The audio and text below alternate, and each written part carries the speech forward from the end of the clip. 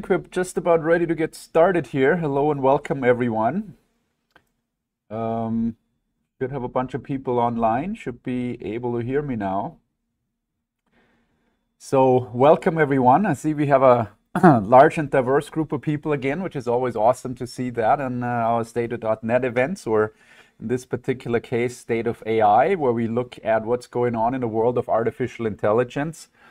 Got a ton of stuff to talk about today. Um, before we get into that, uh, let me switch to my slide deck here and let me introduce myself real quick. My name is Markus Egger. I'm the president and chief software architect uh, of an organization known as the Code Group, which uh, has been around for 30 years. I'm proud of that. Uh, we had a big celebration last December about that. Been a wild ride, and it's never been more fun than it is today with all the AI stuff we got going on. So I'm the guy who started all this. Um, I do spend a lot of time presenting, writing, uh, but probably like most of you guys, I spend most of my time writing production code, working on production applications, managing production projects, and so on. So that's uh, who I am. Um, who is the code organization? Uh, the code organization, the code group, is a conglomerate of several different organizations or subdivisions, I should say. Our main business is consulting, custom app dev. Uh, we also have a sizable staffing operation that's a little bit different from other staffing companies, providing uh, skilled labor, career development, and so on. But you may know us best from uh, kind of a little bit of a side business of ours, which is Code Magazine or Code Training, which are the most publicly visible things we're doing. So I'm involved in all of that. Um, there's a few marketing slides in here. By the way, you're going to get all these slides after the event. We're going to send up out a follow-up email with download links for all that.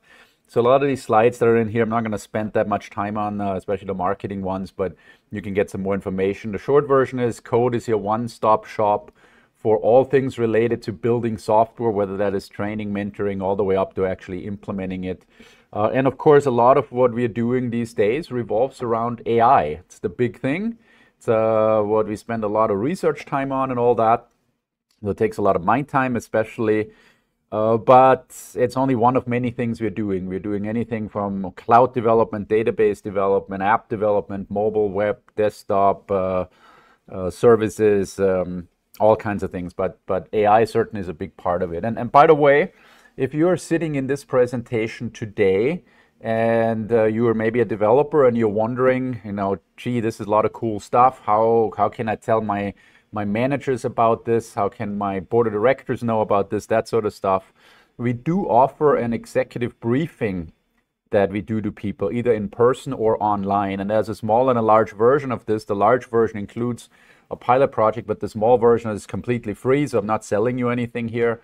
Uh, it's just something you can uh, have us come out and do if you're interested in that and, and want more information about how a lot of this stuff applies to your specific situation. Okay, like I said, we have a staffing organization which is of interest for you, but potentially both as uh, somebody who needs people, or it might be interesting to you in case you are uh, trying to develop your own career. Uh, so check that out. Uh, it's about all I want to say about that. Again, you have the slides after the presentation with all those links in them. Um, also, if you're not a Code Magazine subscriber yet, uh, Code Magazine is a publication that comes out in print as well as digital. And if you don't already have a subscription, we're uh, this is an offer for you and your friends uh, to get a free subscription, no strings attached. Um, and that is that. I do have a favor to ask uh, for all of you in this presentation. Um, you could do us a huge favor by filling out a survey after this so we know how we are doing, but also we know what kind of topics you want us to cover in the future in these free events. So again, not selling you anything, but you could really help me out personally if, if you went and you took this survey by the end of the week. Uh, if you take it by the end of the week, uh, we, we, actually raffle off a gift certificate. If you take it later, it still counts. So helps us to shape these events for the future and figure out what topics you would like to see. All right, so that's it for the housekeeping. Um, uh, what's on the agenda for today? Uh, this is the State of AI version of the State.NET presentations we do. So we want to talk about AI. Uh, it's also part of our State of .NET series. What that means is I'm assuming you are somewhat technical, possibly a developer. So that's the approach from uh, the angle from which we're this approaching. And my goal is to look at AI and show what's possible today. We have all this AI hype. A lot of people have questions around, well, what does that mean exactly? How can I build it into my own apps? How can I use AI that's out there in a productive way? So that's what this is all about. You're going to look at current AI capabilities. You're going to look a lot at OpenAI and Azure OpenAI and what Microsoft is doing. Uh, but we're also going to talk a little bit about other alternatives. Uh, OpenAI is what everybody is talking about, and they certainly have excellent offers. Um, but there's many others out there in the industry that also op- uh, offer up uh, really, really good. And I guess I should figure out a way to disable my WhatsApp here. Uh, are also able to figure out really, really good models. And a lot of what I'm telling you here today is interchangeably usable uh, with other models. And I'll point that out to you. Now, I can't possibly talk about all of them at once. So I'm kind of using OpenAI as a placeholder for all of them because if I pick one, I might as well pick the, the big player. Uh, but then again, this is not just specific to OpenAI, and I'll point that out as well. We have the new Copilot paradigm. Uh, the Copilot paradigm is something that's driven by Microsoft. So Microsoft's building this Copilot concept into all their applications now. Uh, and it's something that Microsoft's doing and something that we as developers should also be doing. So we'll talk about that whole paradigm and we'll take a look at what it's doing in Office uh, and the Microsoft world, but then we'll also talk about how to build it into our own applications. Now I have some slides at the beginning of this. I uh, saw on the list of attendees, there's a lot of new people that came that are coming to our first event. So we need to make sure that we kind of get on on the same page. Uh, if you've already seen me do those slides, bear with me. That's only a, a short part of the intro, but that's the starting point of it. And then I just want to show you guys a whole bunch of stuff we're doing in the real world. Uh, I want to show you real world examples of how we built this into apps because I think that gives you the best overview of what's going on. And in a lot of ways, I think that's what Code Group, my organization, is all about. We, we don't claim to know it all, but we do occupy an interesting place in the industry because with our involvement in community, with our publishing a magazine, with us being involved in uh, organizing events of all sizes, online, in person, conferences, user groups, all that. With our consulting business, we sit kind of in the middle of all these different ideas that are flowing around and information about projects people are doing. And so we are kind of a consolidator of that information, and, and I want to pass this on to you in this presentation here today, kind of from a consolidated view of the real world to you type of thing. Uh, so that's going to be a big part of this presentation. Uh, and it's kind of interesting. I looked at when we did the last overview of AI as part of our State of .NET series and it was in January of 2023, so more than a year ago. And boy, was it a different world a year ago. Uh, a year ago, ChatGPT had just come out. People started hearing about ChatGPT a little bit, uh, or, or you know, maybe had heard about it a month earlier, something like that. But it certainly was at the very, very beginning of that becoming mainstream. Microsoft hadn't talked about Copilot yet, anything like that. It seems almost inconceivable at this point that only a little over a year ago we lived in a world where none of this stuff existed yet. So, um, uh, ha not having looked at a lot of that, there's certainly a lot of new stuff we're doing in this presentation here today. And some of the things I'm going to show you today uh, are going to be the first time we've ever shown any of that to the public. So I'm a little excited about that as well. So, so it'll be fun. Um, if you have any questions, uh, I only have a handful of people here in the room live. Uh, if you are on, in the online audience and you have any questions, I have uh, Tim uh, monitor the chat. And if there's any questions that he can't answer or none of my people can answer in the chat, then he will just pass those on to me and I will try to answer them as part of the presentation. It's all live. Um, and if uh, a question is too long, we'll just address it at the end and I'm going to stay around until every question is answered. All right, so let's go into AI, and that let's take a look at an overview of AI. And, and just real briefly, what are we even talking about here, right? Like, what is artificial intelligence and machine learning? Because this has been a a term that's been around for quite some time. I think it's in the 50s was the first time the term artificial intelligence was used. But of course, at the time we were talking about a completely different thing from what we're talking about today. And in fact, when we talk about the actual technical capabilities that we have, uh, there's also a bit of a difference between that and what some people uh, worry about or imagine or, or envision what AI is like. A lot of people envision AI like a persona. Uh, you know, we like to give them names like Siri.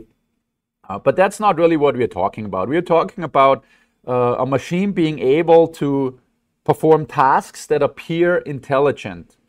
But spoiler alert right here, they're not really intelligent. What we are talking about is very, very large scale math, statistical math, pattern matching, that type of stuff. And it's really just a piece of code that runs that produces some useful output. Right? So it's not like this thing is living there and, and are we killing it if we turn it off? Or, it's just like a function that returns an interesting result. It's just a super fancy function in that sense. Now, what made AI so big in the last year uh, what started in, uh, I would argue, 2023, late 22, but really it started in 2023, is that AI has gotten to a point where it truly appears intelligent. It, it's fakery, if you want to think of it like that, but it's gotten to a point where it truly appears intelligent. So that's what happened last year. And I would say in 2024, we are now picking up these bits and pieces we had that, that enabled us to build that. And, and from a developer's point of view, you know, we're not usually creating our own AI. We're just picking something that's already there and then we're building on top of that, standing on the shoulder of giants type of scenario.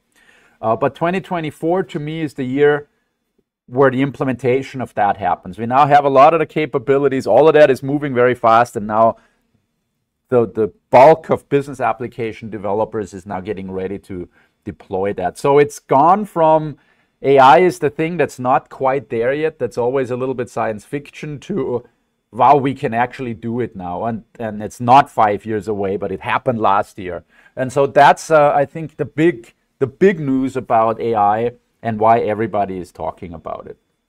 Um, now we can now slice and dice this any number of ways. We can now argue about what it even means to be intelligent. Uh, uh, we could argue about what it means to be superhumanly intelligent.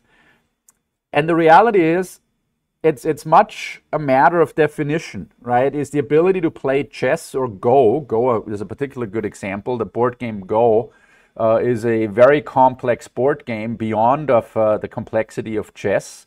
And not too long ago, it was considered impossible that a computer would uh, beat a human uh, in playing Go because we thought you had to be cunning, you had to be deceptive, you had to have all these capabilities that humans have. And it turned out it didn't take any of that. It didn't take true intelligence. It just took a very large and sophisticated machine learning model. And this now happened several years ago that the computers became superhumanly good at playing Go and chess. And now actually it's, uh, it's the noteworthy thing when a human does beat the machine. It happens very, very rarely at this point.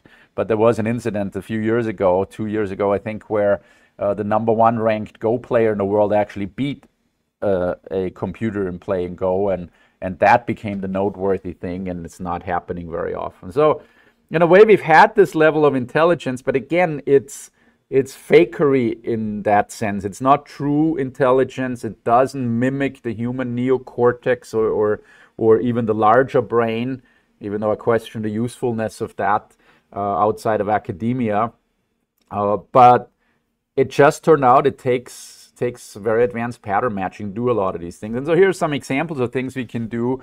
Uh, you know, for us business application developers, predicting things like market developments, uh, demand and supply, uh, doing things like machine translations, reviewing documents, finding patterns in data. Uh, all of that is the computer being intelligent, and whether that is true intelligence or not probably doesn't really matter so much as long as the computer can perform a very interesting task for us. Um, and this is just a slightly different way of looking at this. Um, you know, what does it mean to be superhumanly intelligent? Does it mean you're faster? You you can consider more factors, make fewer errors, and so on and so on. And the reality is, the computer has been there for a long time, and this latest wave just uh, steps that up a little bit. Uh, and then people go and say, well, is this dangerous, right? If you are a software developer who, who argues we should be using more AI, you may often encounter this resistance uh, where people say, oh, no, this is dangerous. We don't want to do that. What if it gets out of hand? People will worry about the singularity, which is the point in time that AI gets smarter than humans. And, and then I always say, well, what does that mean? Does it mean smarter than the average human? Does it mean smarter than the smartest human? Does it mean smarter than all the human knowledge combined? I mean, we have people that are smarter than the average human by definition of the term average. Um, that doesn't mean that they immediately take over the world and become, you know, runaway intelligent and just their intelligence explodes. It just means they're a little smarter than average and life goes on. And uh, I often wonder why people think runaway intelligence in computers is the most likely scenario because learning takes a long time and so on. Uh, but be that as it may be, it's probably fine that we have people worrying about it. I think that's a very good thing. Uh, but I think we have enough people worrying about it. And for us, as the everyday developer, the important thing to understand is that the AI we are building today is not that. It's not generally intelligent. It's not going to learn more and more and just become this runaway thing we can't control. That's not the technology we have, and it's not a better version of the technology we have today. It would take a completely different approach to to AI to get into that. So if somebody worries about that, you know, tell them tell them about all that stuff, and that's that's what we're going to worry about for for this talk. Now, one of the things that is uh, an actual worry is that it has an impact on the economy. I have a slide about that here.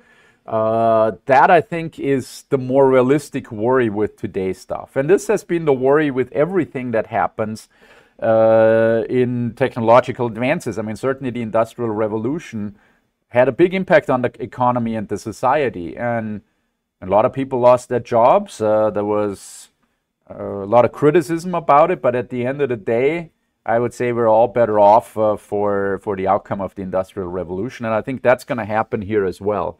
Um, there's some estimates that by 2040, 2050, about half the jobs that uh, we are currently doing can be replaced by AI. Sounds pretty scary. Whether that's actually true or not, very very hard to say. What we observe in the AI that we uh, deploy today is actually almost more of an opposite effect. Uh, so a typical example of some of the things we are doing in my own organization would be that we are using AI to generate art because we are a magazine publisher and we do other things that we need designers and art for. And in the past, it's been uh, often prohibitively expensive to deploy designers and art at the scale that I would really like to deploy. So uh, you know, if we publish a magazine article and it's on the website, I would love there to be some graphic with every article, but we have tens of thousands of articles. Uh, it's cost prohibitive to spend two, three, four thousand dollars on every article to have custom uh, art generated. So we didn't do that in the past, but we can now do it with AI, and I'll show you some of that. And now people say, oh, but you're taking away the job of the designer. Well, as it turns out, Today, we're probably generating a thousand times more art than we did a year ago, or maybe more than that. Um, and the vast majority of that gets generated by AI. But A, I need a person to supervise that AI and pick the things that the AI does. And secondly, uh, you know, a percent or two or three of all the art we need still needs to be humanly designed. And as it turned out, turns out that two, three percent that we do manually is still more than we did before. So uh, we actually employ more designers today than we did a year or two ago. And that's the kind of pattern that we see with a lot of stuff going on. And then people say, well, but then what's the benefit? Now you're spending more money than before. That's true, but I'm also several orders of magnitude more productive, so it's well worth doing that. So, so that's kind of the pattern that we see today. So I've kind of gone backwards a little bit uh, in my worry about that impact because so far it just hasn't really uh, turned out like that. It's uh, been mostly a, a, beneficial thing overall. I also want to mention this real brief here AI and robotics. Uh, people often think uh, robots are part of this or a machine that actually does stuff right in the real world so any kind of robot type of scenario the reality is we are much much further behind in robotics than we are in ai so that might be the next interesting wave in some years to come but uh, you know as a simple example it would be relatively easy uh, to create an ai that can design the interior of a home it would be exponentially harder to create a robot that can actually do that and be a carpenter or, or a tile layer or anything like that. Uh, so, so that's interesting, right? Also interesting in what the impact will be on uh, the society and the economical impacts on that. So there's something to think about. Um, now, how are you going to be really good in AI, right? What's the what's the way to win the AI game? How how do you become a big player in it? And there's several important factors for AI to be successful. Uh, the big reason AI has become so successful over the last few years and why we're even here to talk about this today is A, the availability of data, and B, the availability of compute power. And the cloud has a lot to do with this. So, the enormous amounts of data we can now process and also generate in various ways and access relatively easily is a huge factor. And then the simple matter that we have just enormous amounts of processing power available uh, on the cloud and with modern hardware and all kinds of things that have come together. Those are on a technological level the two main factors that have uh, kicked off this latest wave of AI. Because training AIs which is what you do. You don't program an AI in that sense, but you train an AI by allowing it to look at a lot of data and finding patterns into fitting uh, statistics to those patterns in the data. That's what it's all about. So those are two super important points, and that's pretty much globally available right now. But then on top of that, you need a culture of funding and, and entrepreneurship and uh, people that are willing to fund high risk projects because that's what we're talking about right now. You then need the data scientists and the programmers and all those people that can actually do that. And finally, you need political support for all of that. And there's really two main environments in the world that are really good at this right now, and that's the US and China uh, that have all these factors going for itself. Now, personally, uh, I'm originally from Europe. Uh, that's an environment where I'm a lot more worried about uh, all this stuff because Europe's not very well positioned in any of these, and so we'll see how all of that works out. Uh, but that kind of gives you a little bit of guideline as to you know where am I? How do I fit into this? Uh, if you are trying to figure that out for yourself. Now a lot of this is also to do with the low-level players. Now, when you build AI, you don't build the fundamentals yourself typically, unless you're a really large player in this. Um, but you're using what other people create. So in that sense, it becomes more well, what's even available to me? Am I in an area where some of these things are, are legally not allowed and stuff like that, right? So those are some things to think about. If you're interested in some more reading about this, here are some books that I find uh, very, very interesting for all this stuff. Uh, the first one is AI Superpowers. Reads like a novel. Uh, very, very, uh, it's a page turner, I would say and it talks about how both uh, the US and China are positioned in this race for AI supremacy. Now it's uh, a few years old now, so in that sense it's outdated, but a lot of the, the fundamentals, the cultural aspects and so on are still there. So it's an easy to read book. Uh, I recommend that to you. Superintelligence uh, by Nick Bostrom is kind of the opposite end of the spectrum. It's not easy to read and it worries about a lot of the aspects of AI, but still very interesting, just, uh, just a much longer, much harder read, I would argue. Um, then one that's kind of really interesting is AI 2041 uh, by the same author that wrote AI Superpowers. And this is a book that's very interesting. It has 10 different chapters, 10 different scenarios that it talks about.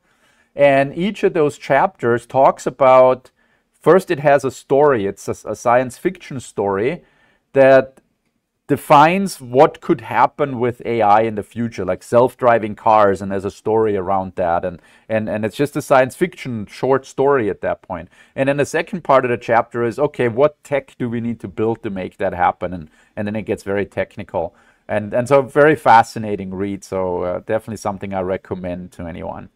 And then finally, really, really interesting is A Thousand Brains from Jeff Hawkins, who is also the founder of Palm Computing, who turns out to be a neuroscientist who just kind of went through the computing stages in entrepreneurship in software and hardware uh, when neuroscience wasn't far enough along yet, and then he sold Palm and then eventually went back into researching the brain. And he is also into AI. And so it's a neuroscience book for non neuroscientists like us. Surprisingly easy to read, and it, it's very thought provoking and explains a lot about how, how we think thought works and how that relates to AI and what AI can and can't do. So, pretty interesting. Uh, you know, three of these four books are super easy to read, and super intelligence a little harder, but still uh, a recommendation. So, um, this is kind of the catch up of where we're at on a theoretic level. So now let's talk a little bit more about AI and machine learning in practice today. What are our capabilities today? Uh, we do what's generally called narrow learning. In other words, we have a specific scenario that we want to train an AI for, like driving a car, like predicting uh, product demand over the holidays, like uh, telling you what movie you might want to watch next. Or, and this is where it's gotten really interesting over, over the recent months and years, teaching a computer to talk, like ChatGPT, appearing human in a conversation, and also the ability to generate art uh, and deal with the spoken word and, and just perception things like that. And there's different levels of learning, deep and shallow. There's the enormously large AIs that we can just use uh, that use deep learning models and, and very large neural nets and interesting techniques. And then there's the more shallow learning and, and much smaller models that we can train ourselves. And we'll see all of that here in some of the samples that I'll be bringing up. What's important to understand is we have no real general artificial intelligence. In other words, we're not replicating the brain and have a thing that just can think and then we say, well, now you want, I want you to learn all about the stock market, or I want you to learn all about manufacturing or database design or anything. It, you know, it, we're not talking about intelligence at that level. We're just talking about a specifically well-defined purpose, what we call narrow learning. Now, narrow learning can still be very generally useful. So having something like a ChatGPT and the features that emerge out of that is generally useful. It's just not an AI that will sit there and, and one day learn completely new things, uh, like becoming a math and statistics wizard or something like that. Okay. Uh, so what we can do with a lot of that stuff today is, is mind-bogglingly useful and very applicable in economic and, and truly productive ways today. Okay, I talked about that. Uh, so one way of using AI is through the Microsoft offerings. If you're in this talk, uh, which you know still has the State of .NET label on it, which probably means you're coming from some sort of Microsoft background and, and looking at the development world from, from that viewpoint, even though you're probably now doing many other things. Uh, the Microsoft offerings are very interesting. They're also very interesting because Microsoft is rapidly becoming the dominant player in this industry in terms of providing these services, not necessarily making them, but providing the services and the infrastructure to run it on. And uh, so if you are an existing Microsoft customer, the Azure Cognitive Services group of things that Microsoft offers is super interesting. And there's all kinds of different things. I'm going to go through this relatively quickly here. Uh, but there's things related to speech. There's things related to language. You can do computer vision, image analysis, face recognition. Uh, you can do translations. You can do uh, transcriptions of spoken word, you can do speaker recognition, uh, all kinds of stuff that's super, super helpful, decision making, uh, sentiment analysis, like, you know, people are posting comments about my products, are they happy or not, that type of stuff. Uh, so Microsoft has had a lot of that, and uh, a lot of that is developed by Microsoft. But then more recently, they've also struck up a partnership with OpenAI. And OpenAI is an organization uh, that we have to talk about here, but the long story short is Microsoft has a partnership with OpenAI and therefore is reselling all the OpenAI services through their Azure cloud offerings, which makes a lot of sense for a number of reasons. First of all, Microsoft has all the infrastructure to run this AI on, and it takes massive amounts of infrastructure to do this.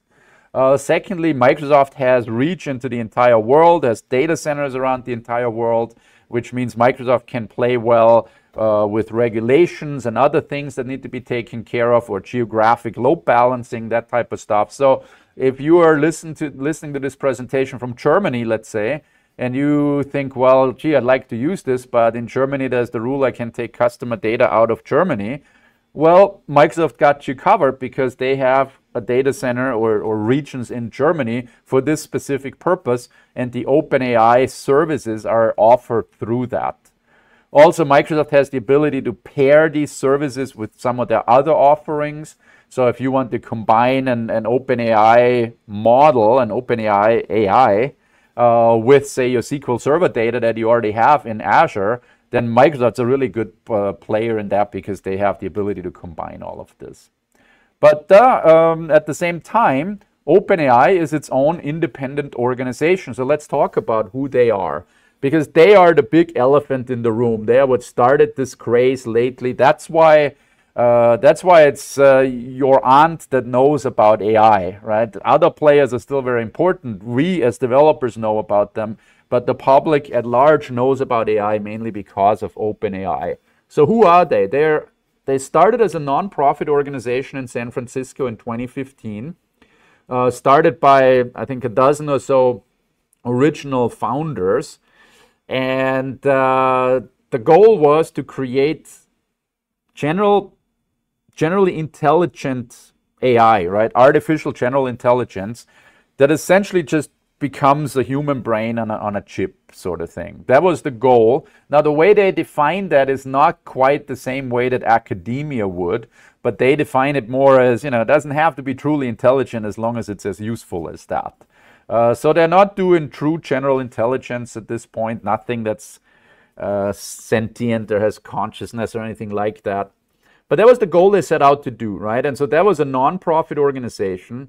And then later they started uh, OpenAI Limited Partnership, which is the for-profit arm of OpenAI. And I still have some odd mechanism of capping the profit and, and all that.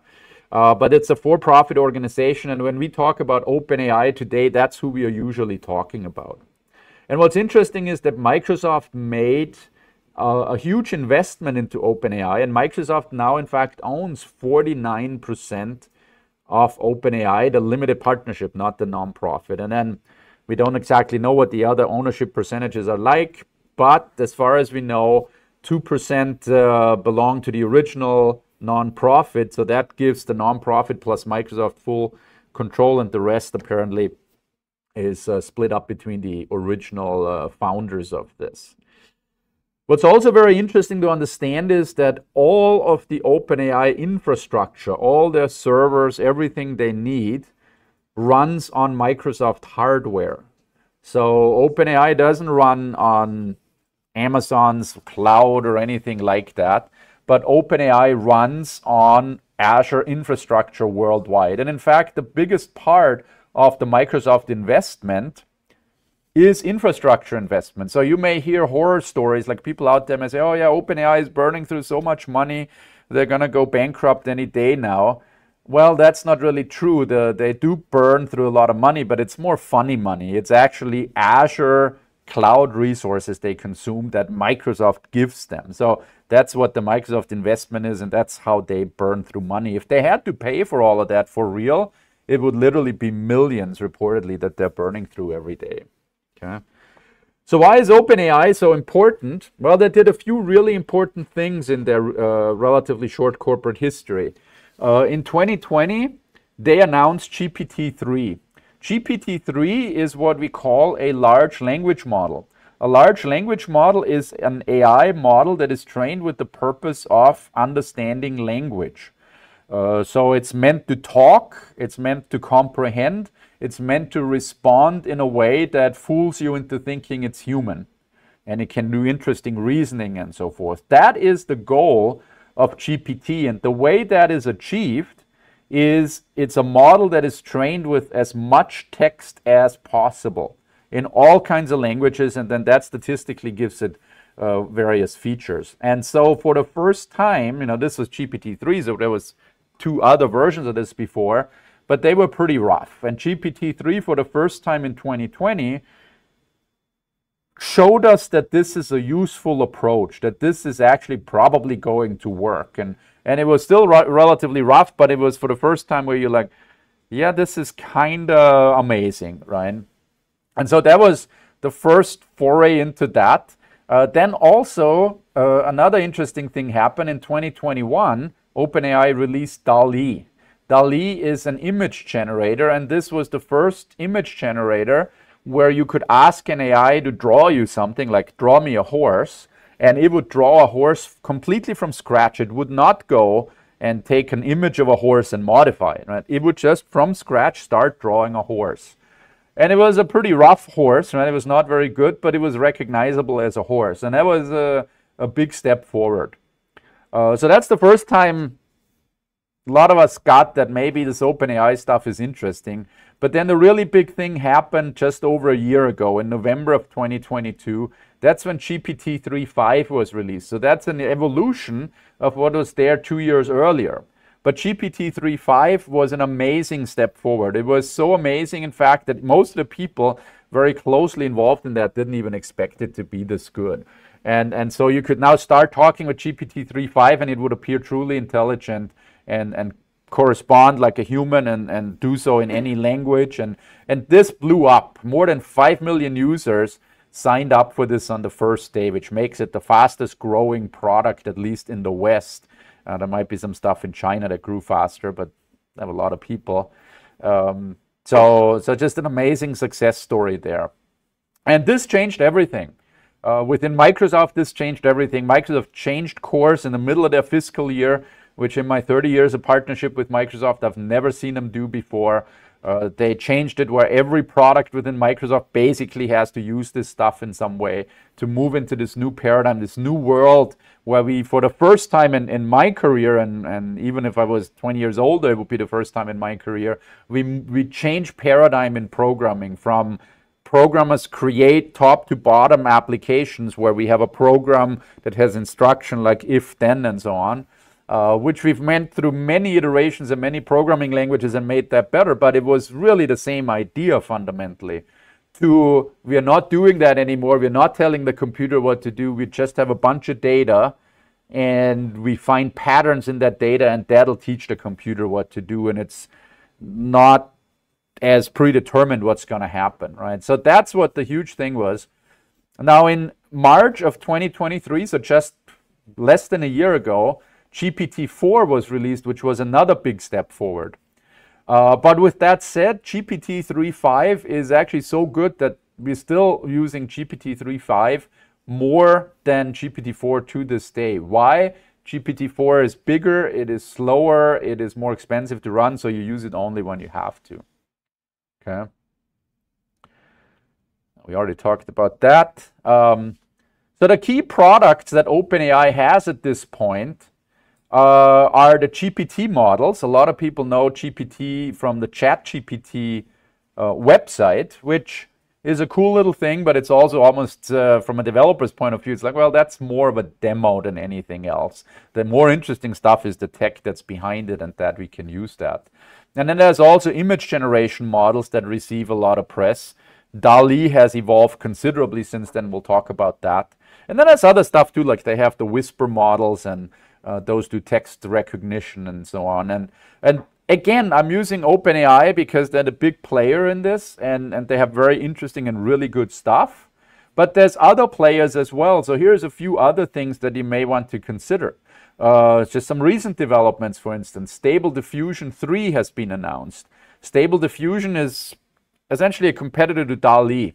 And there's several of those, right? The, there's Midjourney and Leonardo and and all kinds of stuff.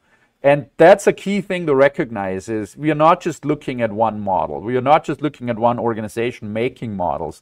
Uh, this is moving enormously fast. And while I'm picking out one set of models as an example to make this approachable in the time we have, uh, there's tons of other good stuff out there. So Stable Diffusion 3 just announced some stuff that looks like they're now leapfrogging everybody else again in the image generation department, and, and especially things that uh, AIs used to be bad at, like generating text, uh, for instance, was always a, a problem for the image generators. Uh, so if you had, say, a picture of a person wearing a T-shirt that said something on it, it, the text would usually look horrible, and now they can can do that very impressively.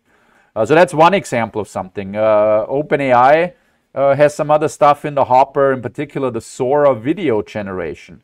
Uh, that's something I encourage you to check out, where rather than just creating a single image, they can now generate a video, I think up to a minute in length. Um, uh, so, so that kind of shows where it's going to go with uh, generating moving pictures. So very, very interesting. Another thing that OpenAI does, like I said, is the Whisper models. Whisper allows you to point at a uh, source of audio, whether it's a video or just an audio file. Uh, could be typically uh, something like a, a, recording of a meeting, or it could be the recording of this presentation here. You could run through Whisper and you get a text version of what I said. So that's super interesting. And I actually have an app here that I already have up and running.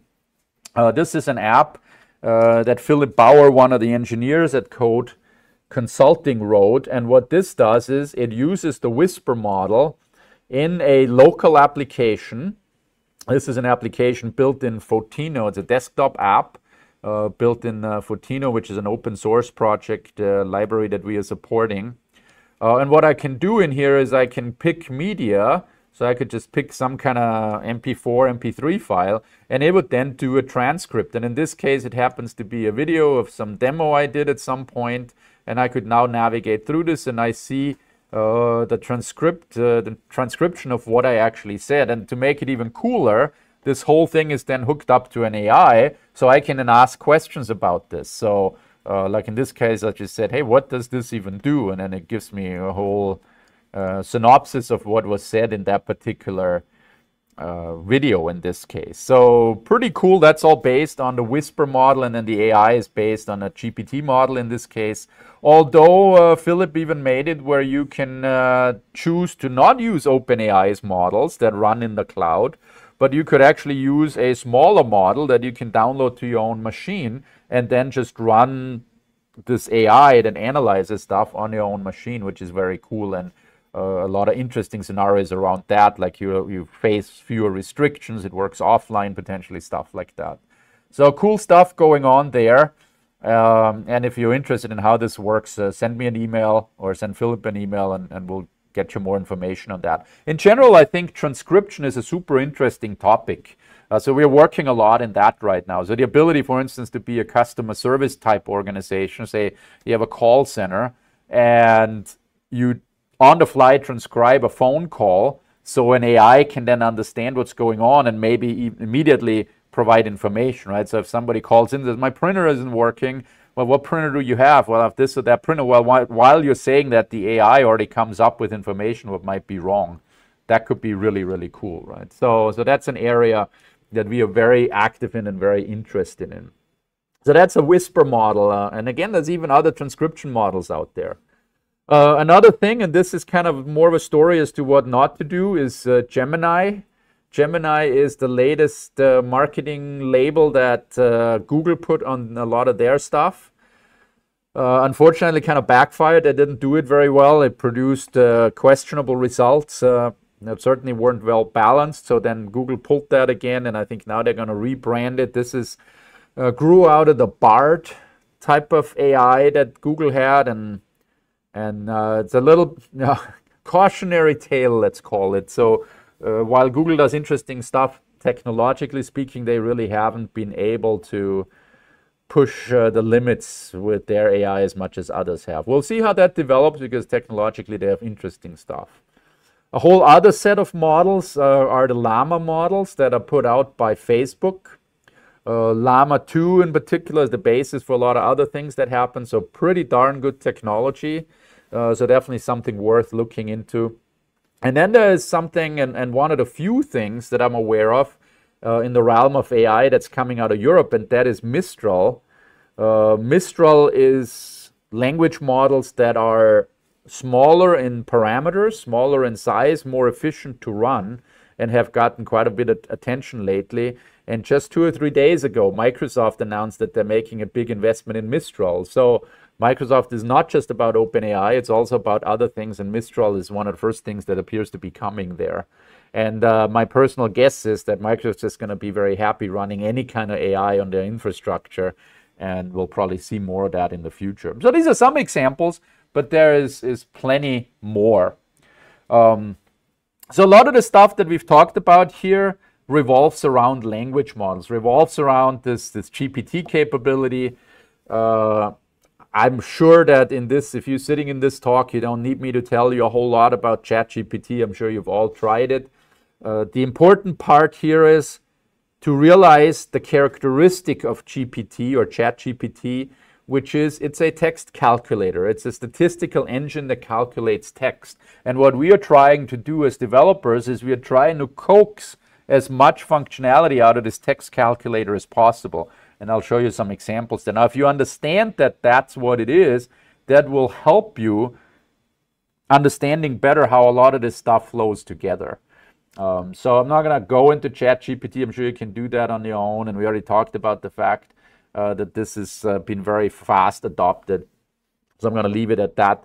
What is another important thing to uh, understand about uh, OpenAI's GPT and ChatGPT offerings it's not one thing. Right? There's different models behind that. Uh, OpenAI has quite a few different GPT models. And what you want to know as the developer is that you don't just want to go for the biggest and the best because that's not efficient and you often don't need that. And that is why I say a lot of us use GPT 3.5 because it works perfectly what, for what we're trying to do. Now, if I wanted to create an AI that helps me write a 2,000 page novel, I probably use GPT-4 because it's just better at that.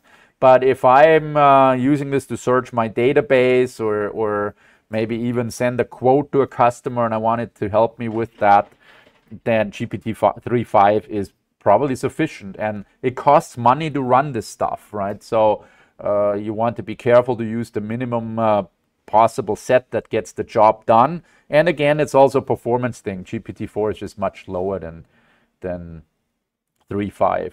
But it is pretty amazing what it can do. So I've already now repeated myself several times in saying it's just a pattern recognizer. It's just a statistical text engine.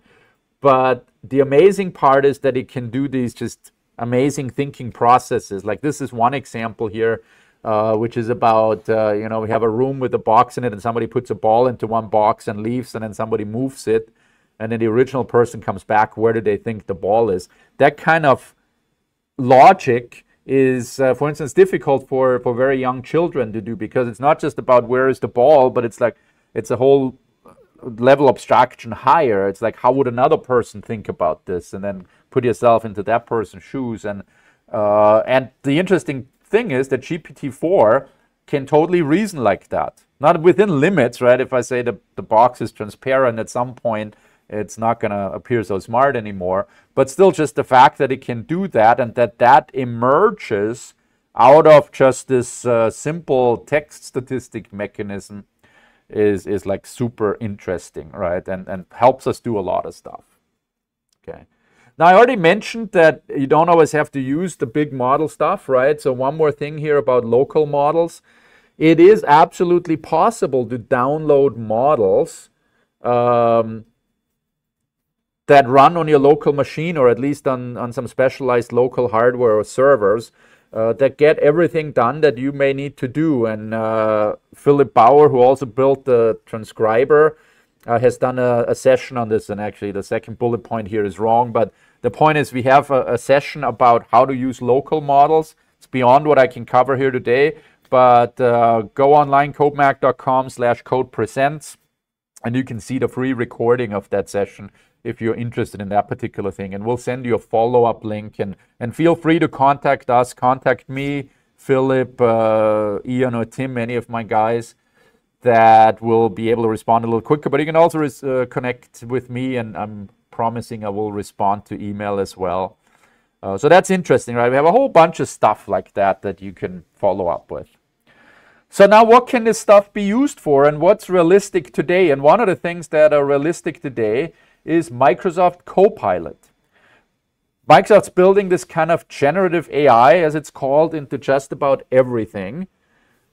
And it's branded Copilot. And Copilot uh, is a paradigm, not just a marketing term. So just like we had DOS apps and then we had apps with a graphical user interface in Windows, and the paradigm was GUIs. Now the paradigm is Copilot, which is you have an assistant that is there to help you with your task. It's not autonomous, it doesn't do it for you, but it certainly assists you in a big way. And this is going to appear in every Microsoft product going forward.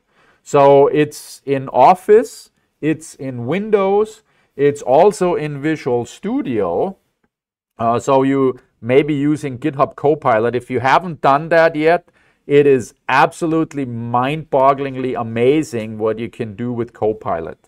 Uh, so I don't have time to show this right now, but I've done this in the past. We have some recordings of that, and that's pretty amazing. Um, but then again, Copilot, the GitHub Copilot that helps us developers is a special case. What's more common is the Copilot that runs in Office or in Windows or in Edge. And so there's a few different the Edge browser, you have a Copilot button in here, and you can pop that up and you can ask it questions. What is the weather like today? And then it goes out and it tries to answer that question. Now, this is fundamentally different from what does uh, because it has additional understanding. It knows I'm currently at the code headquarters in Houston, Texas, or in Spring, Texas, and it tells us what and so on. Um, so it knows where I am. It knows how to look up that information. It's not giving me uh, weather information from two years ago because that's when it was trained, but it's giving me weather information from today because it looks up that information on the fly. We call this retrieval augmented generation. So we have a language model that can talk, but talking doesn't mean it's right. Uh, talking just means it talks like a human, but it's not necessarily at all factful. So what happens with the Edge Copilot here, it adds that factfulness by looking into the language model and then it says, here's the data, answer that question based on this data. This is uh, known as retrieval augmented generation or RAG, and that's what this does. And that's a super important point and a point that I can't stress enough. There's nothing in large language models like GPT that imply factfulness. It's only talking the talk but it's up to us developers to make it factful. And this Copilot is one example of how to do that. If you're not using the Edge browser, you can also go to bing.com and you can ask questions here. Right, and it'll basically do the same stuff that it did in the Copilot, and then we can uh, pick that we want to interact with Copilot. And this is available to anyone. Yeah, it's a little slow here because I'm sharing my screen, but you get the idea, right? So we're not going to spend, pardon? Question online? It's lagging, right? It's lagging, yeah, it's, at, so I hear it's lagging online a little bit. Unfortunately, there's really nothing I can do about that. But anyway, uh, worst case, it's going to be in the recording, right? So that's Copilot in Edge. Now these Copilots, like I said, they start showing up everywhere. So I'm running Windows 11 and Windows 11, my version now has a Copilot built in. I think this, this differs a little bit based on where you are or what version you run exactly. But this is Copilot built into Windows 11. I can bring it up by clicking the Copilot here in the bottom right corner or by hitting Windows C and that also brings up Copilot. And again, I can ask it the same question here and it will give me a similar answer because it's essentially using the same type of technology. Now, a lot of these things right now are just in its infancy. Uh, so this Copilot in Windows has is, is useful for some things, and that's kind of cool. And now it's actually giving me nonsense answer. I'm not sure why that is. Uh, I should have said, what's the weather like here, probably. Um, but this Copilot, I think, is going to increase drastically in usefulness because you can write plugins for this. So if I'm the creator of Adobe Photoshop, I could write an, a Copilot plugin for Photoshop, and I could then say, open up the images in this folder and, and, and auto enhance them and save them or, or, whatever the creator wants to do, right? So in short, this is going to become uh, kind of a replacement for the start menu is how I envision it, right? Where it just can do a ton of different things for us. That's another example. And one final example I want to show is this Copilot in Office in general. So if I create a Word document, for instance, uh, I now am licensed to use Copilot. You need the special license for it, right? It's in, uh, not in every Office uh, version. But if you have Copilot licensed, you now have Copilot showing up like this, and, and you could now do something like write me a story about the weather. My mouse just disappeared. Let's do it with touch. And so it now goes out and it uses uh, whatever ChatGPT or OpenAI model it deems correct for this. And uh, it's going to take a little bit of time because you know, it could write a long story. And then here it goes. It starts writing this story for us uh, about something related to the weather. I have no idea what.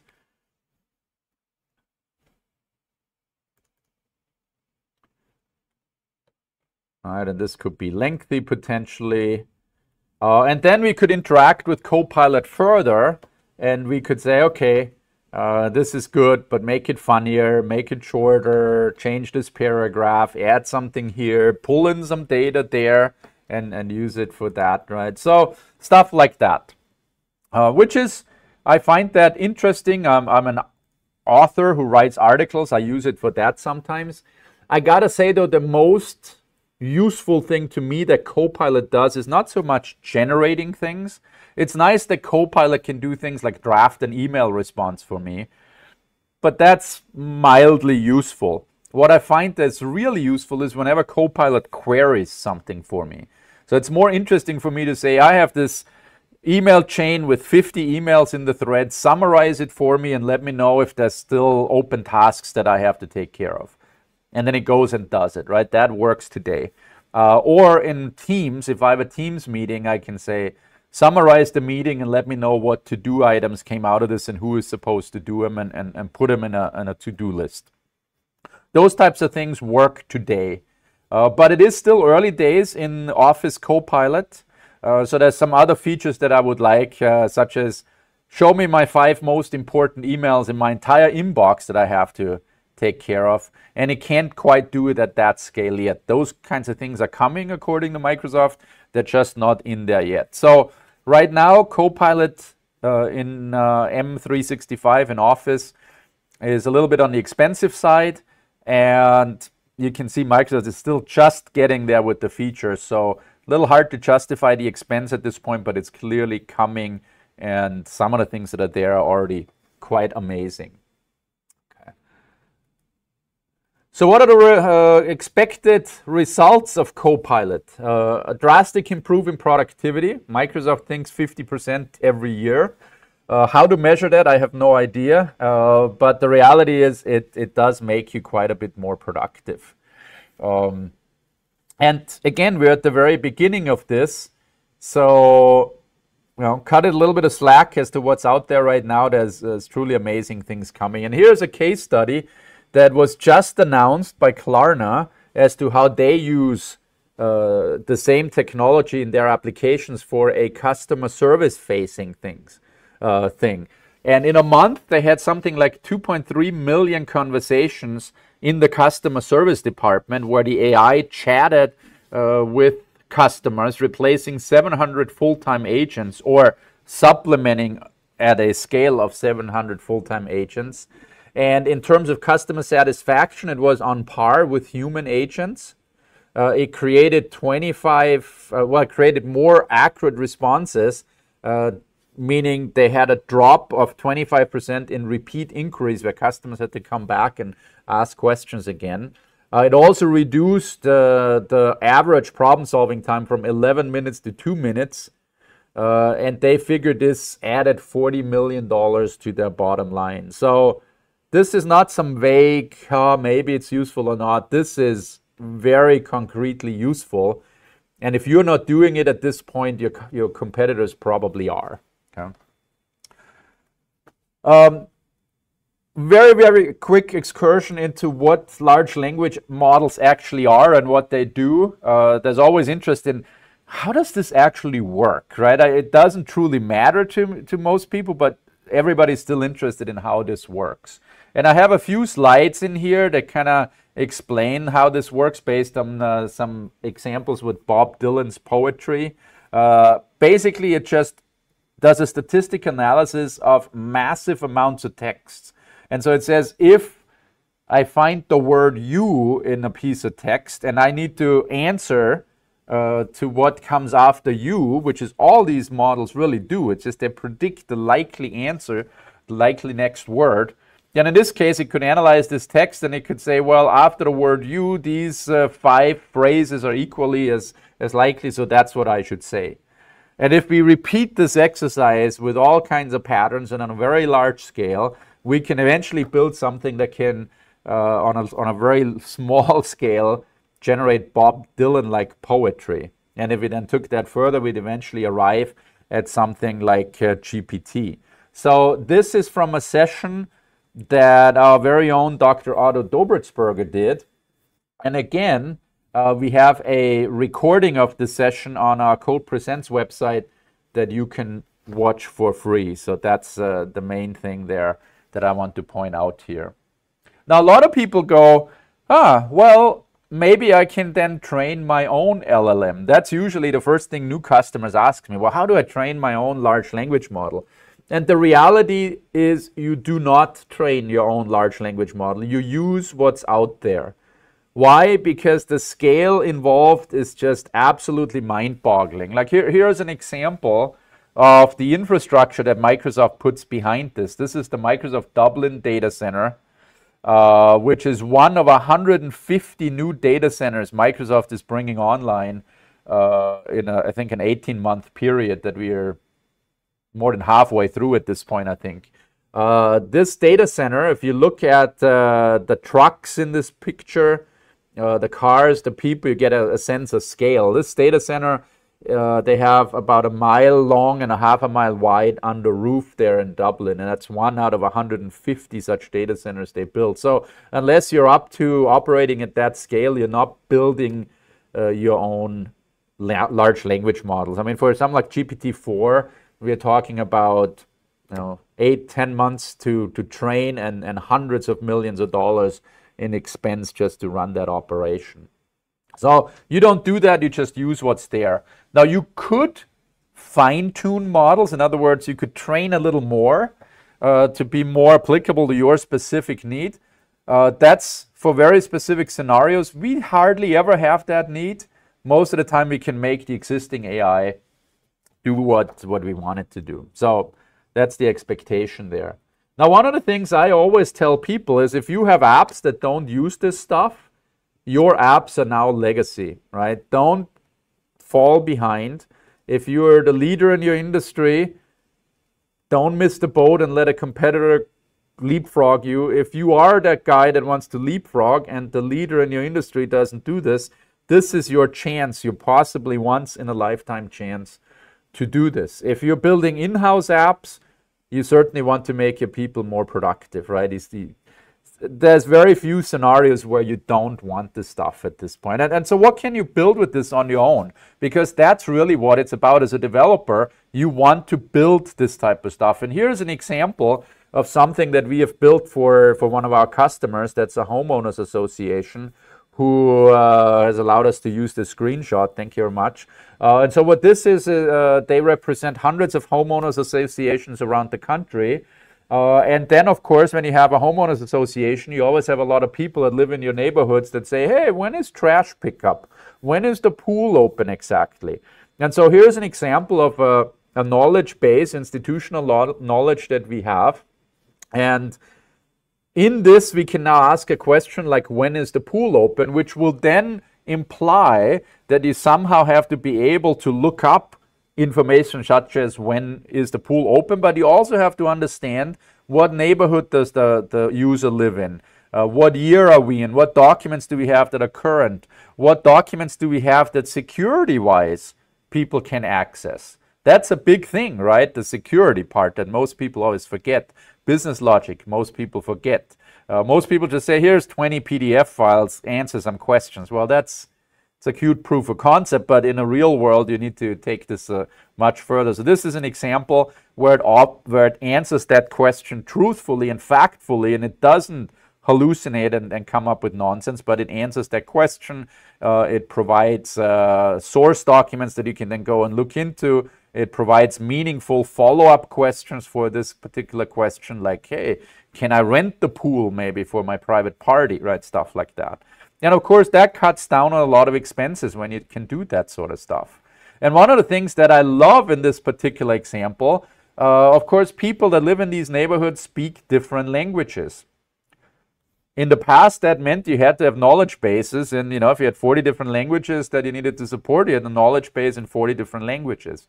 With this stuff, you can actually go ahead and you can ask that question in a different language. So in this example, the same question was asked in German, now note that it's still searching for the information uh, with the search term of pool hours in the original English language in this particular case, brings up the English language knowledge base to give to the AI, and then it says, hey AI, here's the information in English, but go ahead and answer the question in the original language that the question was asked. And hence we are getting an answer in German here based on an English knowledge base and based on English institutional knowledge. And, and you know, we have the links into the source documents, but then we have the suggested follow-up questions, and they are still uh, in the original language that the question was asked. So, so that in itself to me is just a mind-boggling example. I'm talking to people in the tourism industry and all kinds of other stuff where this just cuts out millions and millions of dollars of expense that are really rather unproductive. And this was done using Azure OpenAI from a developer's point of view. So we are simply interacting with, uh, with uh, a GPT 3.5 model in this case. And we are also using some other features, like we're taking all the institutional knowledge that we have and we stick that into Azure Cognitive Search. So when the AI needs to figure out additional data, the first thing we do is, is we say, hey, AI, uh, this question was asked, what data do you need to answer that question? And then it'll say, well, I need to know the pool hours. And then we go and we find the pool hours in our database, uh, in this case, Azure Cognitive Search, but it could be something like an Amazon Elasticsearch or something like that. Uh, and then we get that information, give it to the AI, and the AI answers that question. Um, so very, very powerful. All happens through Azure OpenAI. We could have also used OpenAI directly. There's two different ways of using this. Uh, but we like to use Azure OpenAI in this case because this customer already happened to be an Azure customer. They uh, use uh, that compute. You, you pay per use when you use AI. So you know, it's not very expensive to them in this case, few bucks a month. Uh, but it comes through on their regular Azure bill, and that's very nice. And the data is safely in the Microsoft ecosystem. They trust that. Uh, so that's why we chose that way. But we could have also chosen uh, going directly with OpenAI or other models for that matter. And that's something we do quite a bit too, is where we combine these things. Now let me show you some other stuff here. Um, and let me bring up another instance of Visual Studio. And I'll show you a, a slightly bigger version of something like this, which is uh, a knowledge-based technology we have. So let me open this project here. And what this does is it's, it's technology we make available to our customers. Uh, it's a knowledge-based consolidation product. I'm going to show you a little bit of the behind-the-scenes stuff. Uh, so when I run this, it's going to launch our institutional knowledge or a development version thereof and a system that allows us to query that. Uh, it's an, a .NET application that interacts with, uh, again, Azure OpenAI, but uh, you know, using some Azure, other Azure features as well. So whereas my browser should start up any moment now.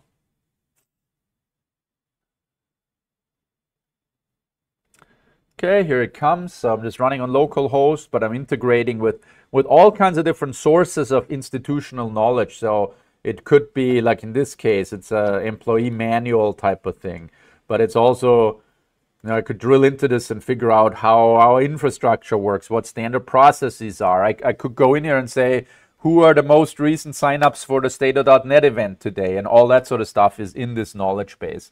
But so now I could go in here and I could say, oh, let me ask a question to our Copilot that we built, right? This is not Microsoft Copilot, but this is a Copilot we built. So I could say, I am being bullied at work. What should I do? Now we have several documents that have information about that. So this is now looking through a knowledge base of infinite size. Uh, that's what's different from what a lot of other people do, uh, where they're like, oh, here's my three documents, my PDF files that are our employee or, or uh, HR uh, manuals, right? So in this case, unlimited size documentation, and we search through this documentation, come up with some information, and then here's the answer to that particular question, pulled together potentially from a number of different documents. In this case, it's just one, and I could drill into it and, and find more information about that. That's what it used to answer this question. And then it says, here's some interesting uh, follow-up questions, right? What, uh, what would be a good strategy for conflict resolution at work? Might be a good follow-up question. And it's then going to answer that question for us. Right, so here is that.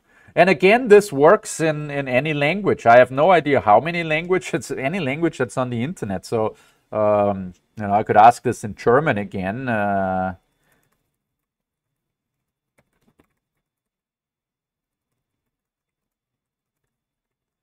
do that. And uh, yeah, it's still using the English institutional knowledge that we have, uh, but it's going to answer this particular question in German. So how does all of this work? It's actually more straightforward than you would think.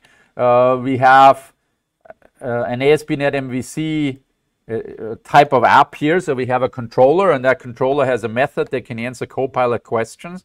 And then we have our own little framework that we use to interact with, in this case, OpenAI, but we make it pluggable so we can go to different backend processing mechanisms because this uh, industry is very much in flux. So if tomorrow somebody comes out with a model that's faster, that's better, that's cheaper, I might just, just switch over to that. Or, or maybe we discover that certain types of things a different model can answer better, right? But in this case, say, okay, well, you had a question uh, for that question, we probably need some extra data. So we use an AI and we say, hey, uh, first of all, we need to find documents related to this. Give me a search term for this question, right? So when I say I'm, I'm, I'm being bullied at work, then a uh, good search term might be workplace bullying, right?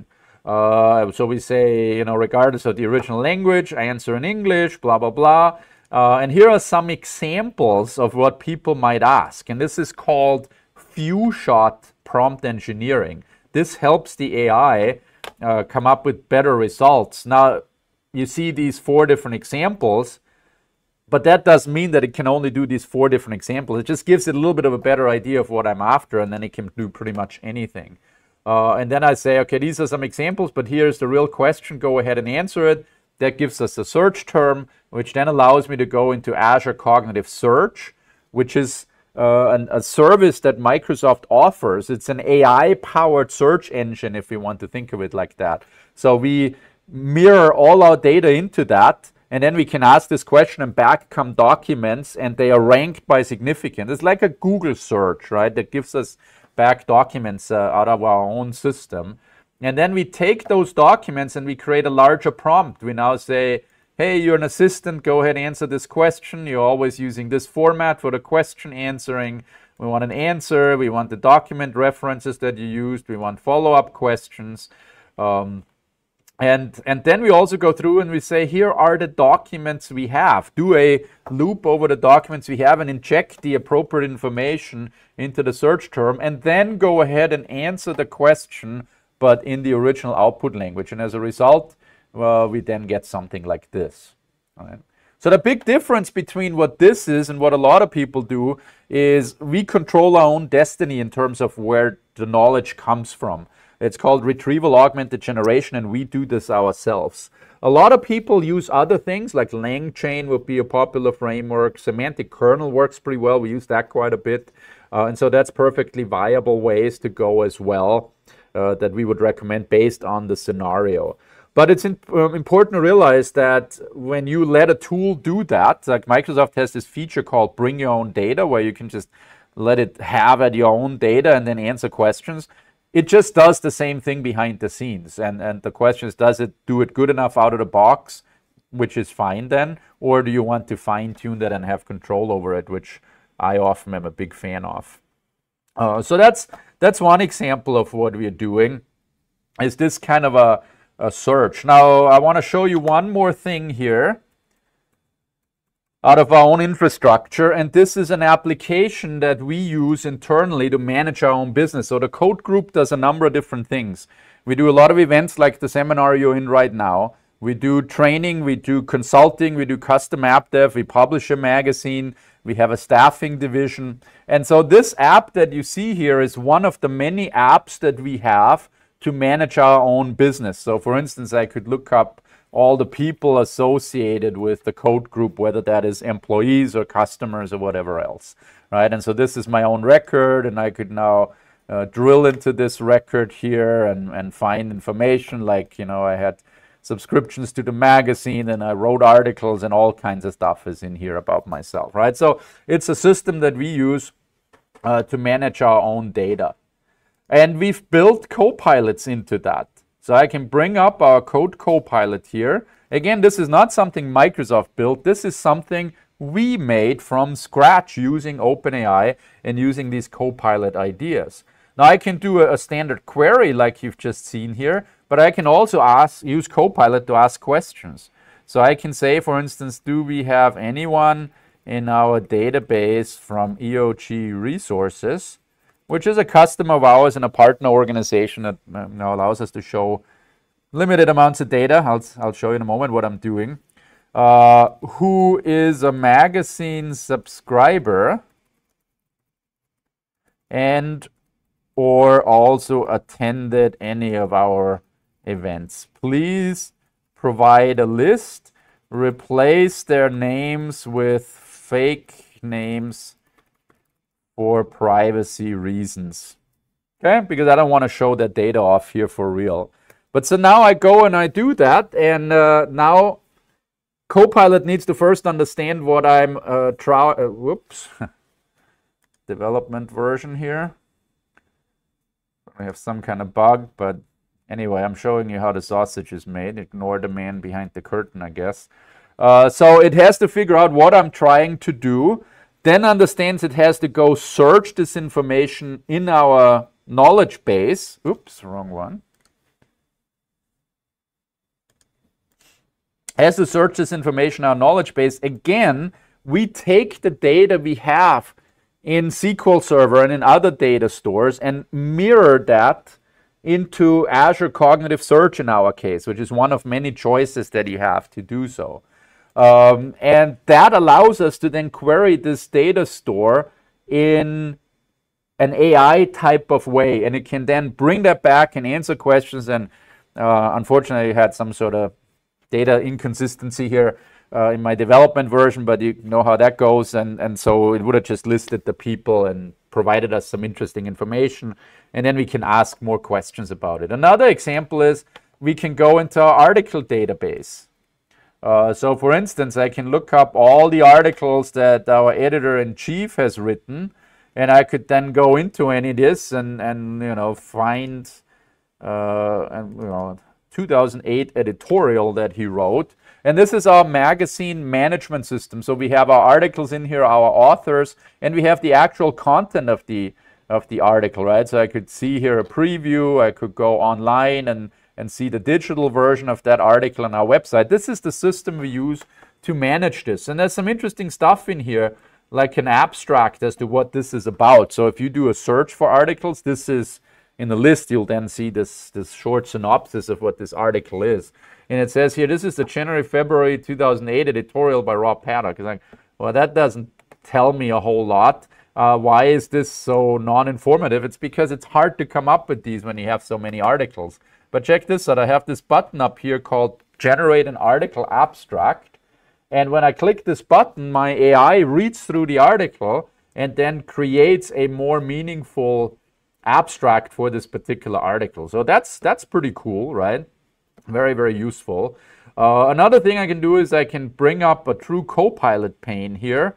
And in here, I can now start asking questions, right? So I could say, for instance, do we have any articles in our database that are similar to this one?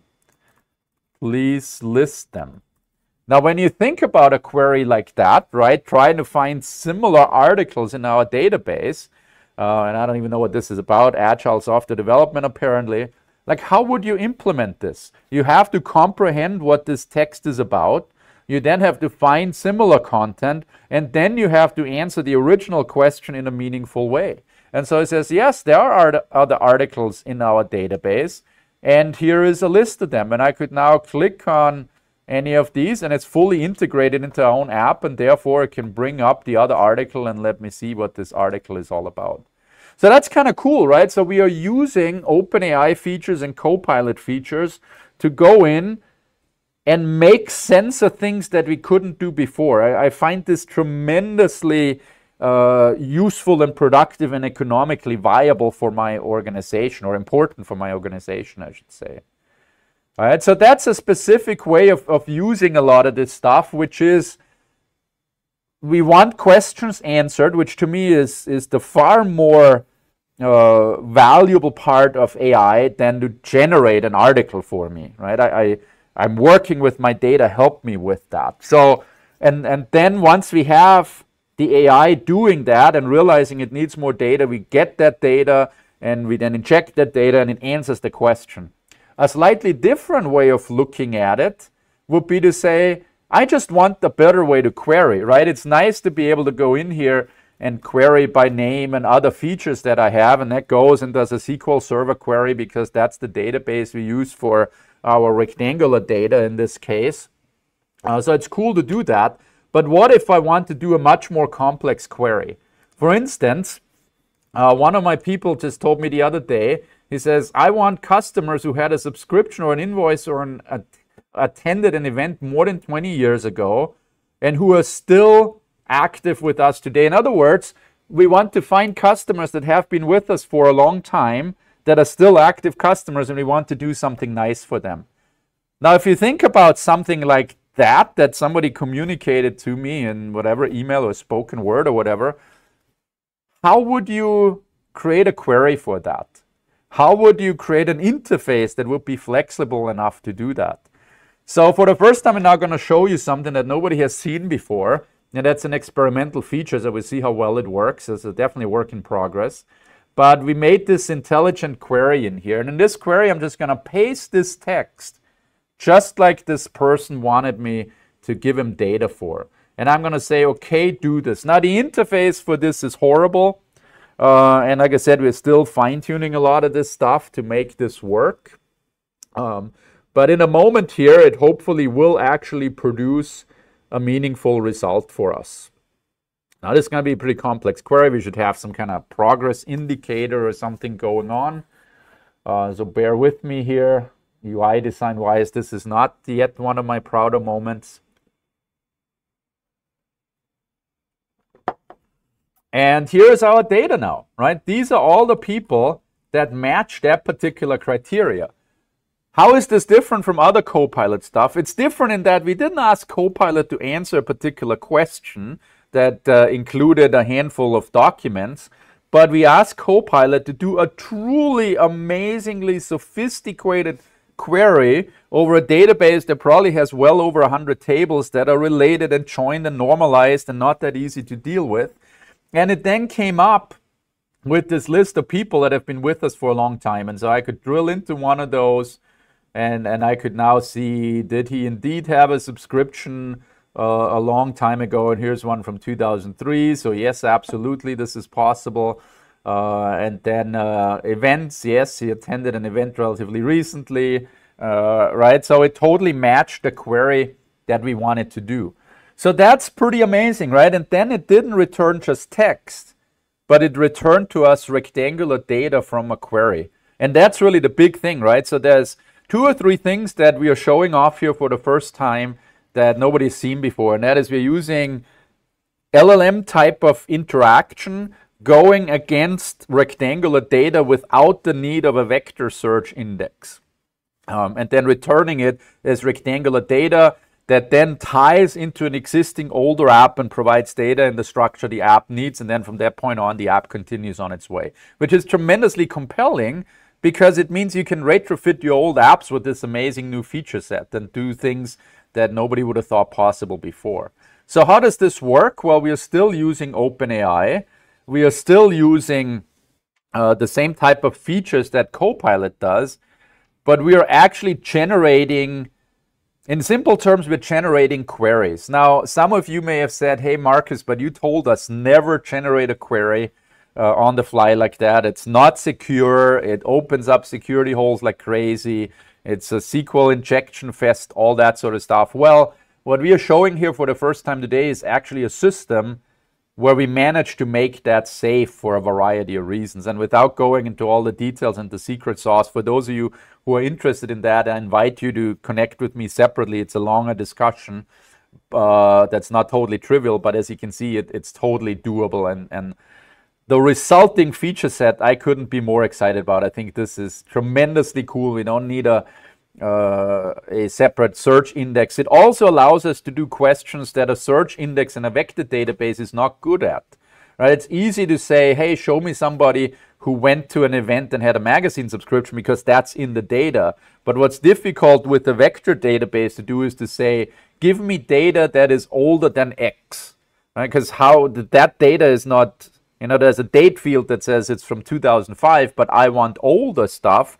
So it's a typical where clause. It's not a text search operation. Uh, so having this feature set now baked in, the, the I'm, I'm tickled pink about this. I think this is tremendously superbly useful. Um, and, and we're probably going to talk about that quite a bit. And again, doing it securely. If you do this on your own, be very, very, very careful because you're very likely to open up security holes like crazy, and your admins are probably not going to allow you to do that. So, important to do it right. Um, so that's kind of cool. Um, moving along here, though, uh, slightly different topic here ML.NET.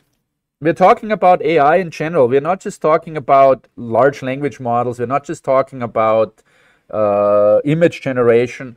We are talking about AI in general. And if you want to uh, train your own AI to do certain things, there's many products out there that allow you to do that. If you're in the .NET world, and this is a state of .NET presentation after all, a, a really good tool to do that is ML.NET. It's a, a, package you can add to your app, and when you do that, you can uh, train your own models. Those are shallow learning models that are smaller, and they're usually mathematical things. So things like uh, predicting uh, product demand over the holidays, or predicting customer sentiment, or predicting whether something is spam or not, right? All those types of things uh, you can do very well with ML.NET. And I have this example uh, where I use ML.NET to, to do what pretty much every machine learning person learns at first, which is the ability to uh, take the customer manifest of the Titanic and predict based on where they were, what class they traveled, how old they were, uh, and all kinds of other factors, how likely they were to survive that, right? So that's kind of uh, a very typical example that a lot of people do. And you can do that with ML.NET very easily by pointing it at that data and training it, and then you can predict what you're doing. Now, one of the problems with a lot of these uh, machine learning things is data scientists or developer do this stuff, and then they have a prototype and they can show it working and then that's usually where it falls apart. It never goes into production. How do I actually deploy this in production? And what I really like is combining it with LLMs. So I have a simple example. I'm just going to go through this very, very quickly just to show you how it's running. And this is actually, we had a training class here yesterday for OpenAI, and I did this example there. So let me just show you what this does. So in this case, I'm just, I have a CSV file with the real customer information from the Titanic. And using this customer information, I'm training up a model using ML.NET, which is relatively simple. You basically tell it what fields you want to include in the training, and, and, and then you have a flag in there, a column that says did they survive or not. That's what you're training for. And then there's uh, a method call here that says go do it. This runs two, three seconds, trains the model. And then once we have the model, we can use it and we can say, hey, create me a predictor. This is basically launch the AI. And here's some information. I have a customer this old, uh, male in third class. Are they likely to survive this, right? So let's just go ahead and run this.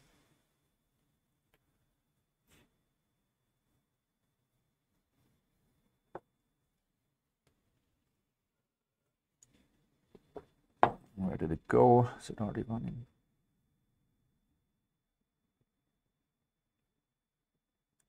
Still starting up.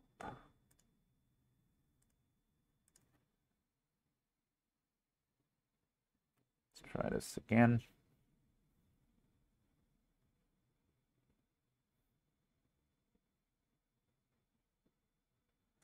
Still loading because everything slows down when you do screen sharing like that.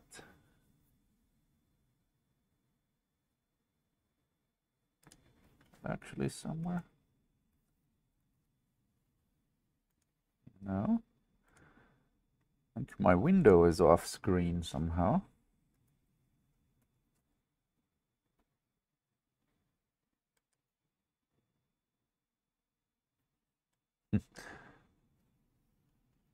Can see it went somewhere. Just don't know where the where the window went. Well, maybe we'll have to skip this sample here. Uh, we also have a recorded version of that, and I'll I'll point you at that as well. Uh, but you know, the point is, it would train the sample within a matter of just a few minutes. See, here it is. I don't know where. I could move it. Windows is not showing me that window. That's not good.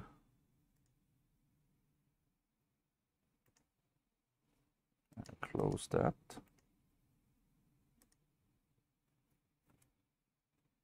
I'm gonna try it one more time. There it is. Yay. so here we have our training pass. It goes through all the data that we have for Titanic customers. It says it's trained. It took two seconds to train. And now we can do some predictions there, right? So I can now say, okay, if I was 35 years old traveled in second class and was a male, what is my chance of survival? And it says, oh, not very good, right? But if I was 25, traveled in first class, and I was a female, I probably have a much better chance of survival. Now, these are pretty obvious examples, but you could go into more detail, and it would actually do a pretty good job at that. Uh, but what's really cool now is, uh, let's exit out of that, and I go into this additional mode of using a large language model. So now it says, hello, I'm an AI-powered chatbot. I gave it the personality of David Attenborough uh, and say, please ask me anything. And I can say, what do you know about the Titanic? And it'll give me uh, some sort of, you know, documentary style information about it. But then the more interesting thing is I can say, uh, since I just turned 35 years old and I am a successful businessman from London. I think I should treat myself to a trip to New York on the Titanic. What do you think of that idea? So now when we do that, it's not just so much a matter of the large language model answering based on its own information, but I wanted to use my predictor and say, oh, well, wait a minute, uh, you know, how likely are you able to survive, right? Would, would I be likely to survive the trip? Right? And now in purple here, I'm, I'm echoing out some debug information. I've configured my language model to say, okay, well, don't answer that directly. If it's about survivability of the trip, I have a function for you to call, and that function calls into the custom trained smaller model. And then with this, you can pass information to that and get predictions back. And it says the passenger will likely die. And note that it remembered I said I was 35. I said I was a businessman, so it knew I was male, and it didn't know what class I was traveling on, but because I said I was a successful businessman, likely I was going to travel in first class. And all of this added up to not being very likely to survive. So it's like, well, that's a bummer. Um, that's a bummer. Would my wife be likely to survive the trip? Okay, and then it makes some other assumptions. It's female, still in class one, and oh, she would be likely to survive, right? Now, this purple stuff is just debugging for People wouldn't see that. But then, based on this information I just retrieved, uh, retrieved the, the LLM can then start giving a meaningful answer that's much more fact-based than anything else I could do. So, long story short, right, I have better recordings of this, this demo. Um, but I'm a real fan of combining different AIs like that because now this is how you put this stuff in production. And I, I think that is like super cool. So that's ML.NET in combination with LLMs. Now I know I'm way over time again. Uh, surprise, surprise. I usually do this, right? But I want to briefly talk to you about art generation. DALL-E 2, DALL-E 3, uh, Midjourney, there's different things that you can use. I talked about Stable Diffusion 3 that's been announced, even though it's not quite out yet.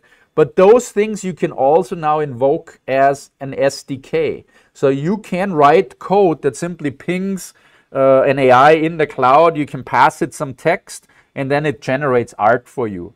Now, to show you how we are using this, let's go back into our in-house application here and let's go back to some of those articles we just had. So I still have this article edit form open here that we used a moment ago, right, about Rod Paddock's article. And uh, another thing that I have in here is this generate art button, because what we would like with articles is if somebody shares them on Facebook or Instagram or something like that, we'd like a piece of art, some graphics show up. Right now, in this case, this is about an agile world. I have no idea what we do for that. Usually we have the problem that in the computer world it's very abstract, right? It's like another performance tuning article. What does performance tuning look like? Uh, another rocket ship sort of stuff, right? It's it's difficult to come up with with interesting imagery. If we were a travel magazine, I'm sure it would be easier, right? Like we could just say a cool view of Paris and the Eiffel Tower, right? If we were writing about a trip to Paris. Now, what we can do in here is through this interface, we can say, based on this idea, suggest us an image. And when we do that, we communicate with DALL-E 3 in this case, running in the Microsoft Cloud, and it will go and it will generate us an image based on this prompt that I just sent it here. Now, this takes a few seconds, but not very uh, long. And this is original art created just for us. And here is the image, right? I can now double click into that and I go, wow, that's actually a pretty darn cool image of Paris, right? In fact, this is so cool. I'm going to save this away. Um, and interestingly enough, from my original prompt, it actually takes a take on that and say, well, what I'm what you really mean is a breathtaking scene scene showcasing the grandeur of Paris, the iconic Eiffel Tower stands tall, blah blah blah, and it does that, right? So now I could maybe use that, and I could say it's all good. Uh, make it the year 2300 and then suggest an image for that right and so i could kind of work my my way through this which is kind of cool um, but then again we're not a travel magazine, right? So, so that's not totally applicable to us. What we really need to do is we need to have a good way to generate these ideas. So we have a multi-step process here. We can actually say, suggest us a prompt based on the article. In other words, AI, go through the article, read it, and then come up with an idea. So when I click this button here, it reads through the article and then says, oh, well, here's an idea. How about this? An image that represents a futuristic city skyline at night with neon lights and flying cars. Uh, use Blade Runner and The Matrix as, as uh, inspiration, right? A focus should be on, on whatever, right? Something that relates to the article. And I may like that or not. I may say, no, this was not good, suggest something else. Or I could go in and tweak it a little bit. Um, So uh, this says, now how about a chessboard and puzzle pieces? And was like, okay, well, go ahead, uh, create me an image or maybe two images based on that. And by the way, here is our Eiffel Tower in the year 2300. So flying stuff and, you know, slightly modified version of the, a more modern version of Paris. Still pretty cool. I'm going to save that also. Right, so that's pretty nice. Uh, but here is now some imagery that it generated based on the ideas that it had for this agility article. And that may be much more applicable. I didn't read the article, right? But this may be much more applicable. So it's kind of cool. So we've now had an AI read the article, then come up with original ideas, be creative, then use another AI to create two different versions of these images. And now all I need to do is I need to take that and I need to create uh, like 10 different versions of this one for Instagram, one for our website. And I have another AI piece that I can launch here uh, that generates out of this real art, right? So it says, well, you'll need the following things, right? Like, uh, like, uh, like this is what goes on Instagram, right? It needs to look like that. So it takes that piece of art and then applies more logic to it and says, oh, well, it needs a logo, it needs a title. Where should this go so it looks good? And we could now say, fine, this all looks great, or we could fiddle with it a little bit, save as an attachment, and it goes into our database and on our website, and, and we would have now published 10 pieces of art right there. Right? So that's what it takes for us now to go from having zero idea to having a really cool uh, visual image associated with our article. Okay, so so cool stuff there. And I have in my slide deck, I have some examples of what some of the images are that it created for us. Right, like this was related to came up with this idea for an, for an ASP.NET article, like an ASP, right? Snake, uh, Cobra snake, not totally the same, but still pretty cool. Uh, it likes to do a lot of these futuristic cities, uh, Tron inspired, but pretty darn good art if you look at that. Uh, then completely different style, uh, castle in the Alps with uh, old style farmhouses around it. Like wow, that's pretty cool. Oh, how about a more modern version of a castle that's uh, that's in the future and semi-digital and flying objects around it, right? I was like, wow, that's detailed. Um, another cityscape with the races, I think a performance tuning article. Uh, this was for an, a Polars article that's about visualization of statistics. So used the polar bear and it used the stats. Pretty cool image. Uh, this is uh, I don't remember what uh, what the prompt was for this, but I just found it to be like, how does it come up with this, right? Dogs riding a bicycle with huge eyes, and they the, the guy even has a dog of his own in a little basket. That cracks me up when I look at this. Uh, this was about spam filtering. It came up with this idea, right? Uh, I live in Hawaii. Hawaiians are said to use to eat a lot of spam, though I've never tried it. Uh, but so it did like uh, like an old style Hawaiian uh, advertisement poster uh, as an anti-spam article. Here was one related to tourism and skiing. Uh, here was one related to writing XML files. It came up with this. Look at the intricacy of this particular image. The smoke, the the uh, decorations on the thing he's sitting on just amazing art, right? Like if I had to pay an artist to do this, it'd simply be cost prohibitive. Uh, this one was for uh, uh, the impersonation of an AI, right? So really, really cool. So very, very advanced, sophisticated art that that is now created by DALL-E 3 and a lot of these other image generators. Uh, and these are, like I said, leapfrogging each other. Um, and there's a, another recording we have on this topic that goes into a lot of details on this. I'm already way over time again, of course, as I always do in these presentations. Uh, but go watch that recording if you're interested in image generation by uh, Otto Dobretsbergers. It's a free recording. Uh, and again, we'll send you a link to that. So that is my overview of what's possible today in AI. Uh, I hope you got the idea that you can do things that are tremendously useful and valuable for businesses especially. Uh, so if you're an enterprise that needs to use this stuff in-house, if you're creating a product, right? You, you want this. If you want to extend the Microsoft Copilot ecosystem, all those things are now very, very possible and tremendously useful. And if you have any questions on this, like I said, if uh, we are more than happy to answer your questions. We're not going to send you a bill for that.